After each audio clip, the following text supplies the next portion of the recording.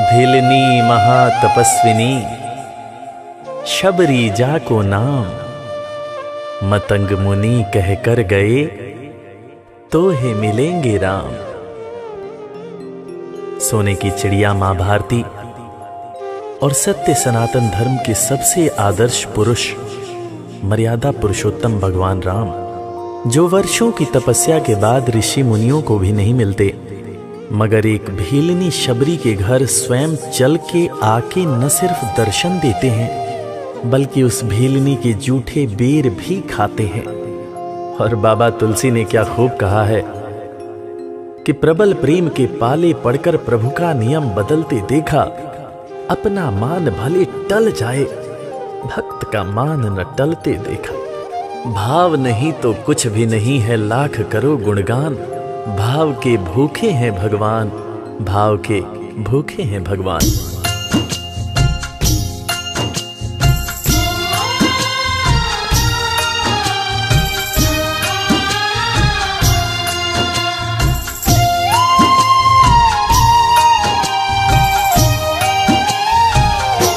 भाव के भूखे हैं भगवान, भाव के भूखे हैं भगवान।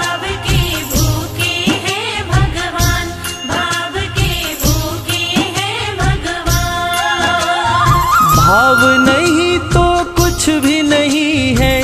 भाव नहीं तो कुछ भी नहीं है। लाख करो गुणगान, भाव के भूखे हैं भगवान। भाव के भूखे हैं भगवान।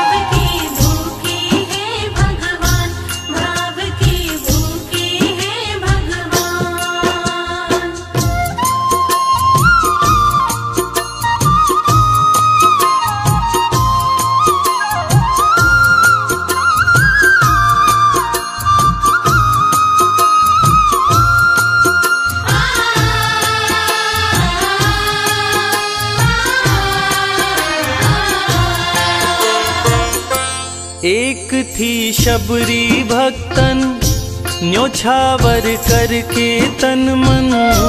मतंग मुनि के संग में करती थी प्रभु का कीर्तन।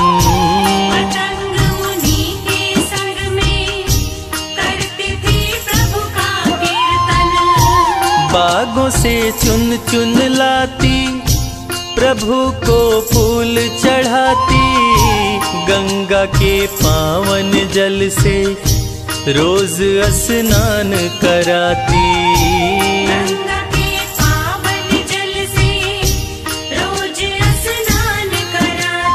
चरण धो के श्री राम का करती। चरण धो के श्री राम का करती चरणामृत का पान। भाव के भूखे हैं भगवान। भाव के भूखे हैं भगवान।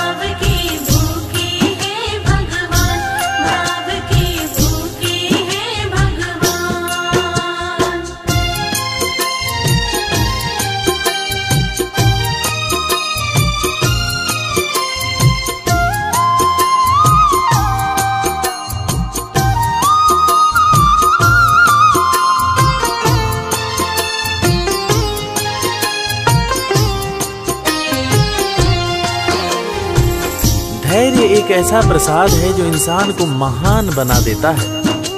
मतंग मुनि माँ शबरी से कह गए कि शबरी तेरे दरवाजे राम ज़रूर आएँगे। और शबरी ने दस हज़ार साल तक प्रतीक्षा किया। शबरी को देखने वाले न सिर्फ़ उसे पागल कहते थे, बल्कि कहते थे, ये कौन दिखात कुटी माँ नारी ते उत जाती है मुद भरी। छिन भीतर बाहर होत छिना सुख सो नहीं बैठत एक घरी यही के तन में कछुपीर भई, ये वियोगिन मानस माही जरी। अब जान पड़ी रघुनाथ के प्रेम की मूर्ति रूप ये है शबरी। मतंग शबरी को बताए, बहु भांति समझाए, सबर कर कुछ दिन शबरी, मिलन के दिन अब आए।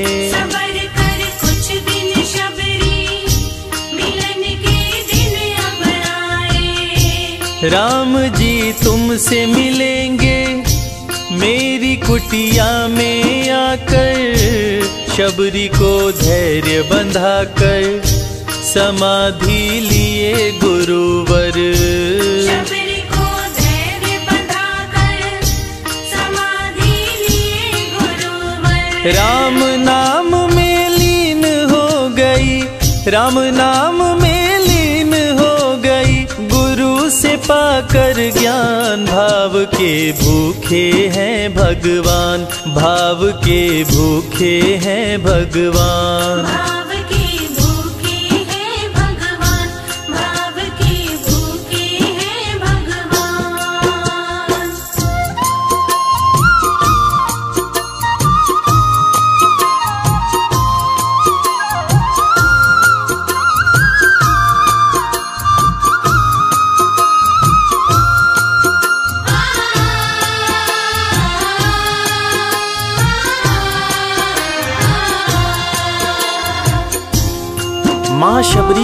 महामुनि मतंग।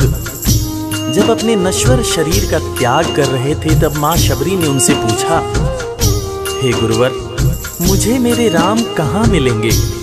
इस पर महामुनि मतंग ने शबरी को जवाब दिया कि, शबरी अरे दुनिया राम को ढूंढती है, मगर तू तो ऐसी खुशनसीब है कि तेरे दरवाजे राम स्वयं चलकर आएँगे। माँ शबरी को अपने गुरु की बातों पर अटूट विश्वास हो गया। माँ शबरी हर रोज राहों पर फूल बिछाती थी। चुन चुन कर, मीठे बेर चख चख कर इकट्ठा करती थी। ताकि मेरे प्रभु श्री राम जब आएँगे तो बड़े प्यार से इसका भोग लगाएँगे। राहों पर फूल भी बड़ी सावधानी से शबरी माँ बिछाती थी। शबरी माँ सोचती थी कि मेरे गुरुवर कह के गए हैं कि मेरे घर मेरे राम ज़रूर आएँगे। शबरी माँ राहों पर दूर दूर तक फूल बिछाती कि प्रभु श्री राम के पैर में कहीं कोई कांटा न छुप जाए। राह पे फूल बिछाती, वो मीठे बेर को लाती। मेरे प्रभु राम आएँगे, नैनों में सपने सजाती।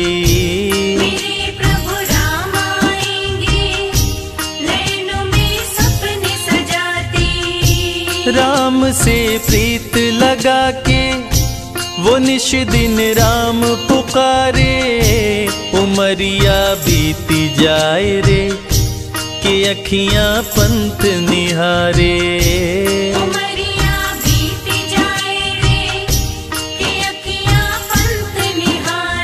जर जर हो गई काया फिर भी जर जर हो गई बसे राम में प्राण भाव के भूखे हैं भगवान भाव के भूखे हैं भगवान।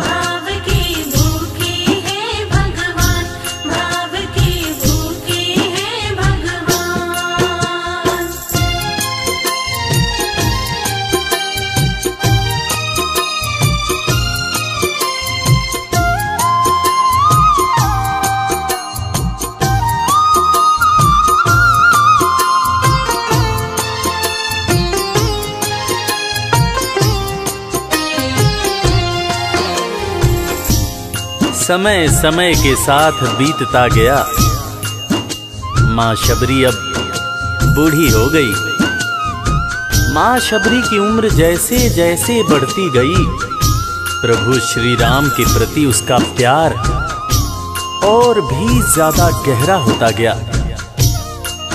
माँ शबरी, जो इस जन्म में तो भीलनी हुई थी, मगर अपने पूर्व जन्म में वो एक बहुत बड़े राजा की रानी थी। प्रयागराज, जहाँ पर कुंभ का मेला लगता है। एक बार वो अपने राजा के साथ उसी कुंभ के मेले को देखने पहुँची। अपने पूर्व जन्म में भी माँ शबरी को प्रभु श्री राम से उतना ही ज़्यादा प्यार था।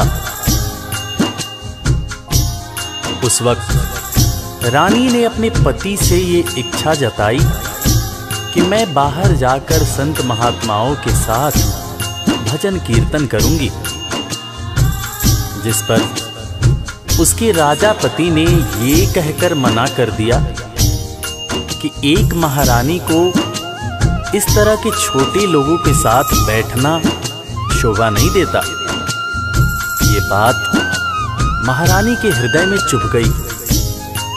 महारानी ने गंगा के पानी में जाकर अपने प्राण त्याग दिए और ईश्वर से कहा, हे मेरे प्रभु, हे मेरे राम, इस जन्म में तो आपने मुझे बहुत खूबसूरत बनाया है। अगले जन्म में चाहे मुझे कुरूप बना देना। इस जन्म में आपने मुझे उच्च कुल में जन्म दिया है। अगले जन्म में चाहे तो मुझे भीलनी बना देना। मगर हे प्रभु, मेरा अगला जन्म जब भी हो, मुझे ये सौभाग्य ज़रूर देना कि मैं तुम्हारे नाम को जपूं, मैं तुम्हारा नाम लूँ।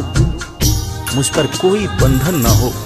वो राजकुमारी अगले जन्म में माँ शबरी बनी, वही माँ शबरी जो कुटिया में प्रभु श्री राम की राह देख रही थी। वो सुंदर आसन लगा के स्वच्छ कुटिया को सजा के राह आंचल से बुहारे प्रभु का ध्यान लगा के। राह आंचल से बुहारे प्रभु का ध्यान लगा के। और ना अब तड़ पाओ राम मेरे आ भी जाओ दरस बिन शबरी व्याकुल राम मेरे दरस दिखाओ। दर्श बिन शबरी व्याकुल राम मेरे दर्श दिखाओ। दरस की आस लगी मेरे प्रभु जी दरस की आस लगी मेरे प्रभु जी पूर्ण करो अरमान। भाव के भूखे हैं भगवान भाव के भूखे हैं भगवान।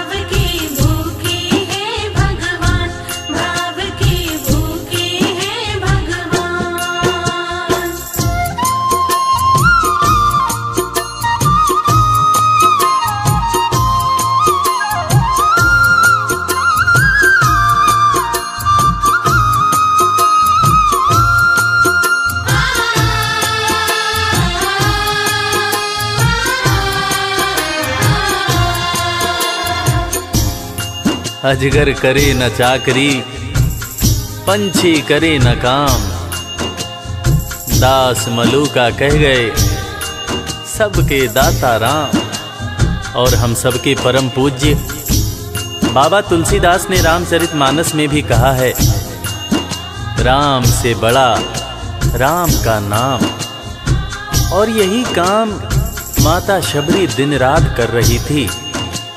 बस वो एक ही बात बार बार बोले जा रही थी कि मेरे राम आएँगे, मेरे राम आएँगे। वो हर वक्त, हे राम हे राम बोलती रहती थी। प्रभु श्री राम, जब अपने भाई लखन के साथ माता सीता की खोज में वन में दर दर भटक रहे थे तो उनके कानों में ये आवाज़ गूंजी। उन्होंने अपने भाई लखन से कहा, प्रिय अनुज ध्यान से सुनो। मेरी एक माता है, जो वर्षों से मेरी प्रतीक्षा कर रही है। मैं भी अपनी माता को देखने के लिए बहुत व्याकुल हो रहा हूँ। चलो अनुज माता शबरी की कुटिया में चलते हैं। प्रभु श्री राम माता शबरी की कुटिया में आते हैं। माता शबरी की नज़र जब प्रभु श्री राम के ऊपर पड़ती है तो माता की आँखों से खुशियों के आँसू धारा प्रवाह बहने लगते हैं। माता शबरी रो रो के कहने लगती है, मेरे राम, आप आ गए। मेरे राम आप आ गए। आँसू भरी आँखों से। माँ शबरी प्रभु श्री राम और वीर लखन को देखे जा रही थी। दोनों हाथों को जोड़कर दौड़े दौड़े माँ शबरी ने प्रभु श्री राम के पैर पकड़ लिए और कहने लगी, मेरे राम मैं तो दो जन्मों से आपकी प्रतीक्षा कर रही थी। लोग मुझे पागल बुला रहे थे। मेरे गुरुदेव ने मुझसे कहा था कि शबरी, राम लक्ष्मण के साथ एक दिन तेरी कुटिया में ज़रूर आएँगे ज़रूर आएँगे। राम संग लखन को आते देखी प्रभु को मुस्काते प्रभु के पास में आई कुटिया से दौड़ लगाते। प्रभु के पास में आई कुटिया से दौड़ लगाते। राम से मिलन हुआ जब तो शबरी सुध बुध खो गई प्रभु के पाँव पकड़ के। भाव में विह्वल हो गई। प्रभु के पाँव पकड़ के भाव में विह्वल हो गई। खुशी के आंसुओं से पग धोए खुशी के आंसुओं से पग धोए भक्त न शबरी समान भाव के भूखे हैं भगवान भाव के भूखे हैं भगवान।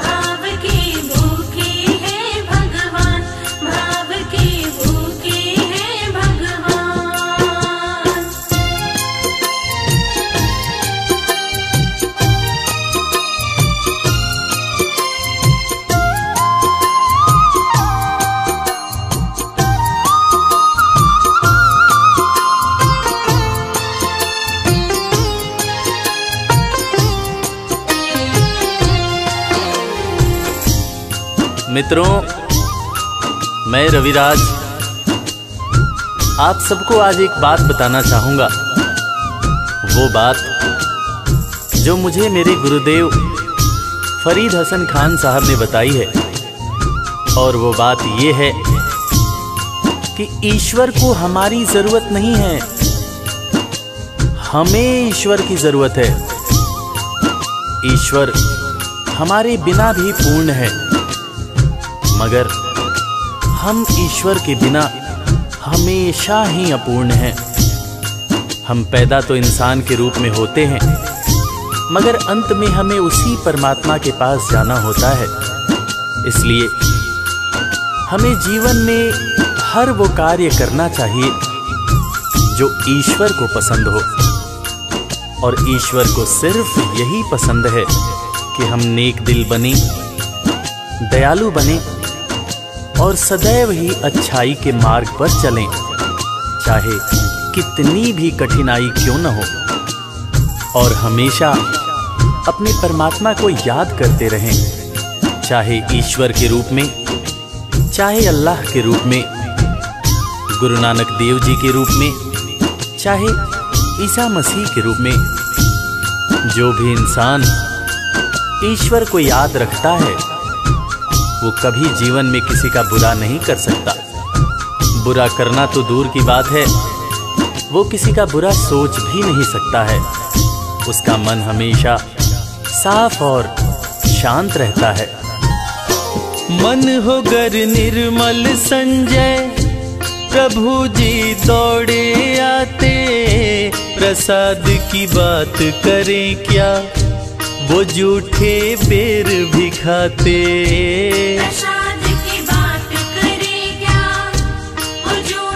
बेर भी खाते बात है सच्ची लेकिन हम सब बात है सच्ची लेकिन हम सब इससे है अनजान। भाव के भूखे हैं भगवान।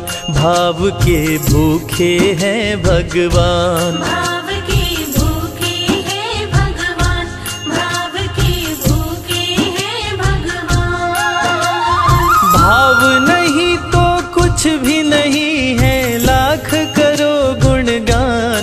भाव के भूखे हैं भगवान। भाव के भूखे हैं भगवान। भाव के भूखे इस कथा के लेखक Pandit Sanjay Tiwari ji sound engineer Shri Kailash Dandriyal ji Max Studio Delhi संगीतकार लवली शर्मा मैं आपका अपना रविराज और वीर म्यूज़िक परिवार की तरफ़ से आप सभी को कोटि कोटि प्रणाम करता हूँ। किसी भी त्रुटि के लिए हम क्षमा प्रार्थी हैं।